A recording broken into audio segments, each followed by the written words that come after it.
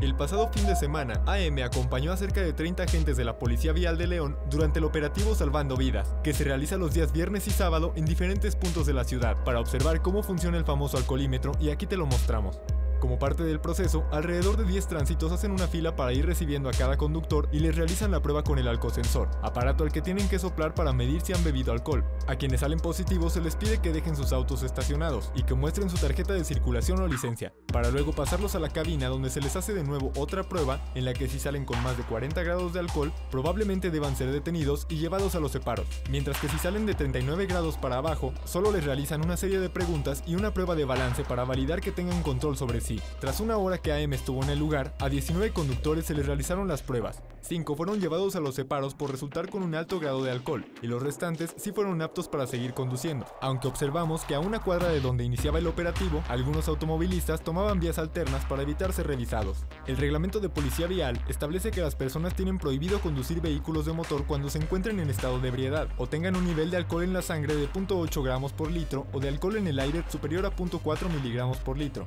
De acuerdo a una base de datos proporcionada por la Secretaría de Seguridad entre octubre de 2021 y octubre de 2022, 10.984 personas fueron detenidas por manejar bajo los influjos del alcohol en León. 9 de cada 10 detenidos fueron hombres y 3 de cada 4 tenían entre 18 y 40 años, aunque también se registraron menores de 14, 15, 16 y 17 años. El capitán en turno señaló que en caso de que algún menor de edad, alguien de la tercera edad o de la comunidad LGBT salgan con altos grados de alcohol, son canalizados con unidades especiales a la comandancia más cercana. Además, también participa personal de la Secretaría de Asuntos Internos, quienes validan que el trato que reciban las personas sea justo, pues trabajan para que no se violente la seguridad de los conductores.